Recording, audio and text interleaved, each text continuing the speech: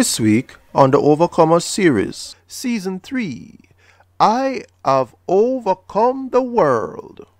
In order to be connected to your culture, a lot of times you will tend to turn your hand and make fashion. So I've seen myself make some things that I'd never imagined making in Jamaica. Um, but let's talk about Japanese food. I've come here and I've enjoyed eel um, they call eel unagi. What?